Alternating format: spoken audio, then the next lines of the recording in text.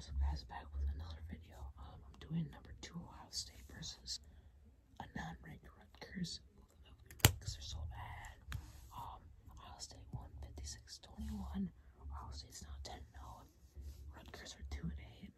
I don't even know how to say that name. I'm sorry if I'm mispronouncing it. I don't think I am, but Rud I don't know.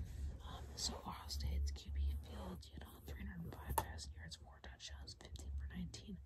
He did all that 19 passes. Holy crap! Um, Dobbins, their um, running back, had eight nine yards rushing, two touchdowns. Their wide receiver Olave had 139 receiving yards. Um, Rutgers running back, but I'm not even sorry to say that, but he had 56 yards and touchdown. Their wide receiver Melton had 57 yards receiving and touchdown. Notes Ohio State could probably get this number one seed. So, Ohio State State at the end of the year, if I at this. Um, and LSU doesn't really play any other top teams at the end of this year. So, and Ohio State plays Michigan in the last game of the year.